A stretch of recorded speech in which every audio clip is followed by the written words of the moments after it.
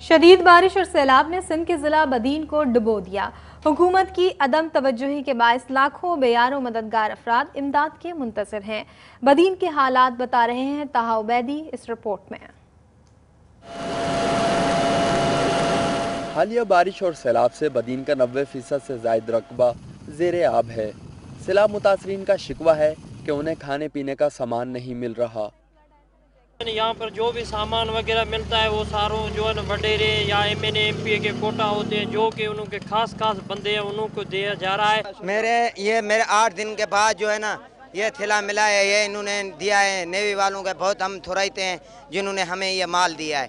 वो जो बाहर से आते हैं ना वो इधर लूट कर मार कर वो गाड़ी लेके जाते हैं बस इधर जो है सारे दिन भूखे रहते हैं बस। तहसील जुड्डो के 200 से जायद गाँव जेर आब हैं और सैकड़ों अफराद अब तक वहाँ फंसे हैं।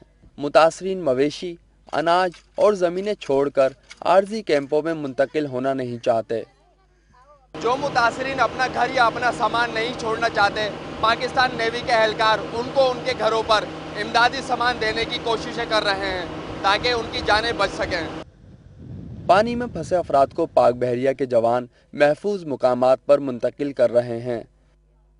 पूरे इलाके में तकरीबन ढाई तीन हज़ार गाँव हैं जो पूरे टोटल गाँव हैं और उसमें से कोई सौ के करीब ऐसे गाँव हैं जो, जिन्होंने निकलना पसंद नहीं किया, अपनी जगह पे बैठे हुए तो उनको हम राशन प्रोवाइड कर रहे हैं उनकी जगहों पर। हेलीकॉप्टर और कश्तियों के ज़रिए वहाँ इमदादी सामान और राशन पहुँचाया जा रहा है। वबाई अमराज पर काबू पाने और बीमार अफराद को तिबी इमदाद फराहम करने के लिए नेवी के मेडिकल कैंप्स कायम किए गए हैं। बारिश मुतासरीन गुजशत कई रोज से इतने भूखे हैं कि जब इमदाद की तकसीम का अमल शुरू होता है तो यहाँ पर लूट मार और छीना झपटी का अमल भी शुरू हो जाता है। तहा उबैदी, आज न्यूज़ टंडो बागो